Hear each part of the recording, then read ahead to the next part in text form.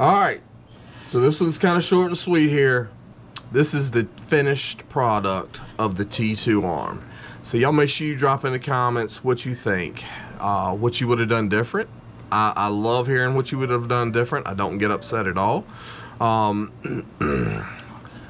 but yeah, so check this out. Watch this. Tell me what you would have done different. Tell me how you like it. And we'll see y'all later. All right. Here it is. Cleaned up. Fixed up.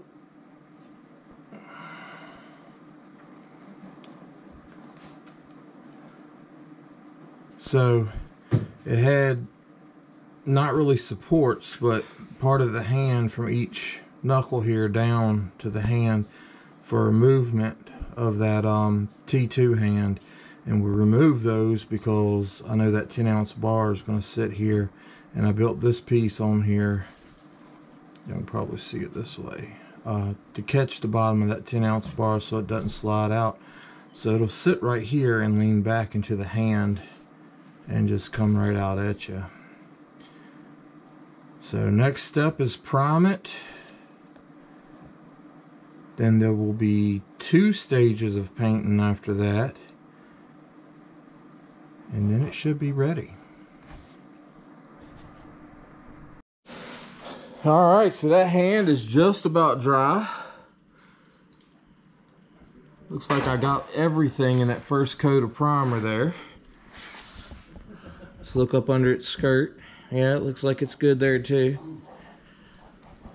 So, once the bottom down there looks a little bit wet, once that finishes, because the rest of it, it's not even tacky anymore.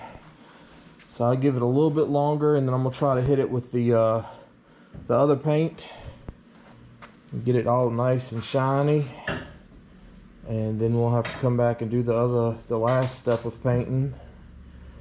And once we get that done, then we'll have to uh, seal it. All right, so not completely finished, but pretty close. I'm gonna try to seal that so it stays that way. But yeah, it's pretty awesome. I think. Y'all be sure to let uh, him know in the comments and uh, check him out.